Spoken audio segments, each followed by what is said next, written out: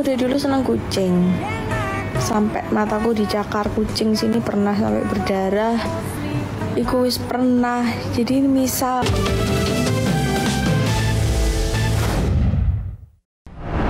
Pernah gue di keluarga gue worry banget kan. Keluarga gue tuh worry banget sebelum ke psikiater tau gak? Iya. Ini Caca kenapa kok jadi kayak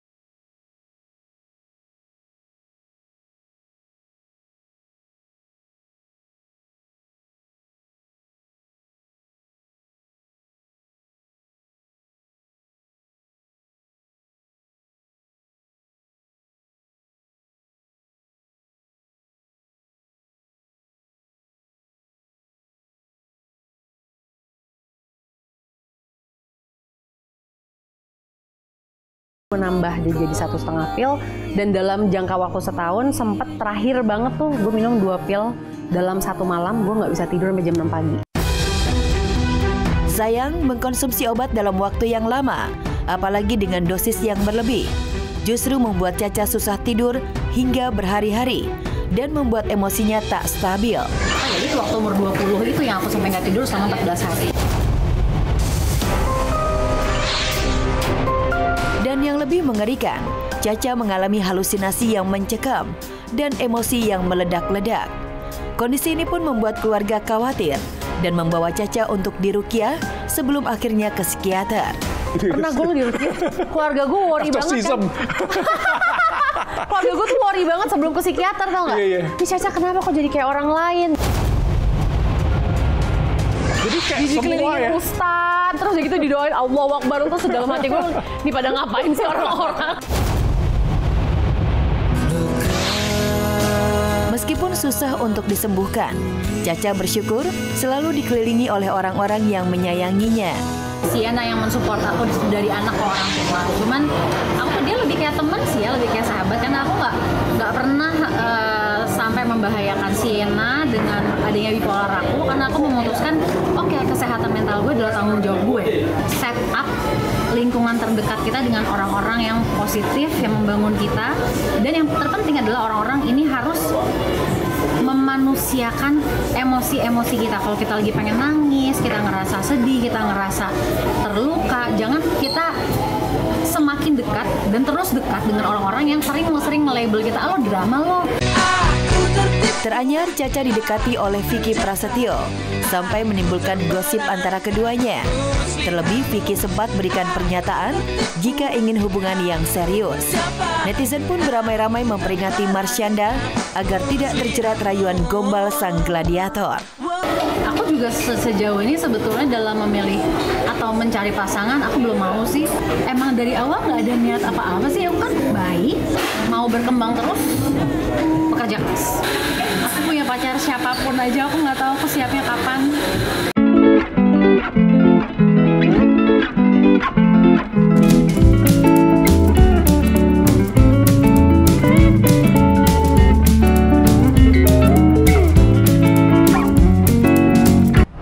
jujur Ca, aku pengen pol megang harimau.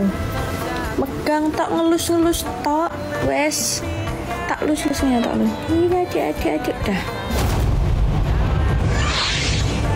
Istri ngidam elus anak harimau, Denny Caknan ketar-ketir melarang.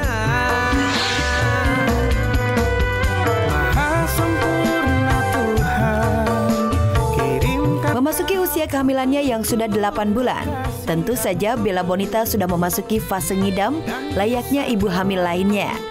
Tapi nih beberapa waktu lalu, Bella mengungkapkan kalau dirinya mengalami ngidam parah yang hingga kini belum kesampaian. Kira-kira ngidam apa ya? Jujur Cak, aku pengen pol megang harimau. Megang tak ngelus-ngelus tok, wes. Tak lus-lusnya lu. Iya, adik, adik, adik dah. Rupanya istri Denny Caknan ini ngidamnya ingin memegang dan mengelus-ngelus anak harimau. Wah, kok ngidamnya yang agak-agak serem ya? Gak bahaya tak? Dari dulu senang kucing. Sampai mataku dicakar kucing sini pernah sampai berdarah. Iku wis pernah. Jadi misal, misal, misal harimau nyakar. Au, ngono sithik. Gak apa-apa, aku malah seneng cuman yang kan kecil, yang harimau kecil aja, jangan yang gede. Sang istri ngidam tak biasa, udah pasti Denny Caknan ketar-ketir menentang keras. Bahkan tak mengizinkan keinginan istrinya itu karena nggak mau Bella dan sang calon buah hatinya itu mengalami hal yang tak diinginkan. Bahkan Denny rela jika dirinya saja yang mengalami ngidam. Sampai sekarang belum. Yang idam kelihatannya saya. Yang makan terus saya. Sebenarnya juga biasa-biasa aja kelihatannya. Percintaan lancar.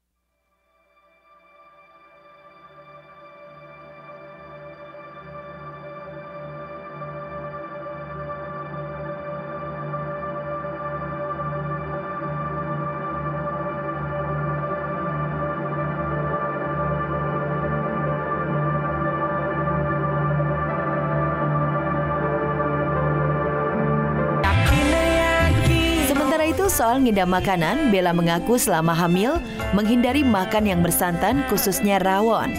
Padahal Bella suka banget dengan makanan khas Jawa Timur itu. Kemarin tuh aku sempat makan rawon. Terus nggak tahu kenapa muntah. Udah kan, terus aku coba makan lagi rawonnya. Habis gitu muntah lagi. Jadi emang kayaknya nggak bisa makan rawon. Padahal aku seneng rawon, ya Allah.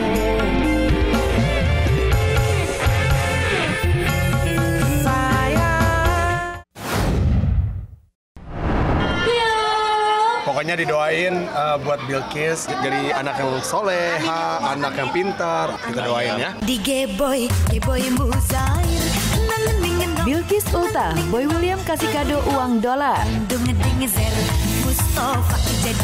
Lagi-lagi Boy William membuat keluarga Ayu Ting Ting sumringah bahagia.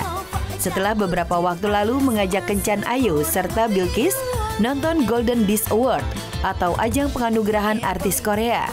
Tepat di momen perayaan ulang tahun Bilkis bersama teman sekolahnya, Boy memberikan kado spesial putri sematawayang Ayu Ting Ting yang ternyata isinya cukup bikin syok Ayu dan Bilkis. Setelah dibuka, isinya uang dolar senilai 15 juta. Oh boy, oh boy, ya. Oh masih? Enggak ini yang yang baru.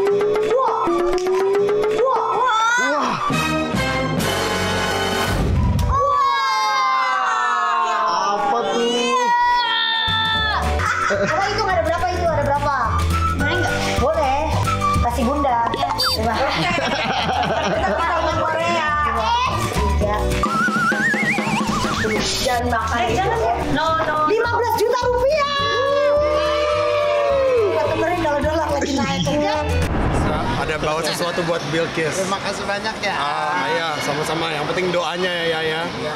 Pokoknya didoain uh, buat Bilkis.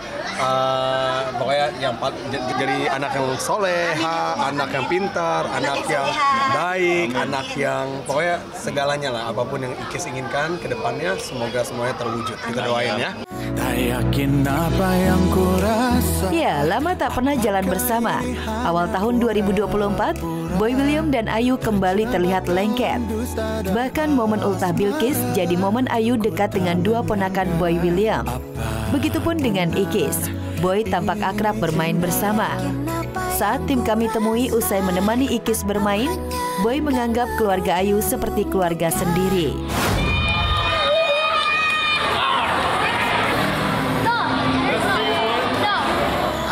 Aku nih. Hmm, dari dulu nih udah anak ayah banget karena kan deket banget gitu ya. Sik asik, sik asik. Saking lengketnya dengan keluarga Ayu Ting Ting, Boy dan Ayah Razak diam-diam merencanakan liburan dua keluarga ke luar negeri. Benarkah rencana liburan dua keluarga Ayu dan Boy sekalian bakal membicarakan pernikahan mereka berdua? Kalau ada waktu liburan bareng ada ya kan sama ayah juga sama siapa pun itu ya. Kalau kita bisa kumpul mah seneng lah. Pengen nggak sih ya liburan? Mau. Ya, pasti mau lah. Keluarga nih bareng-bareng. Mau lah. Katain ke mana contohnya kalau anda kata ini? Korea kah atau mana?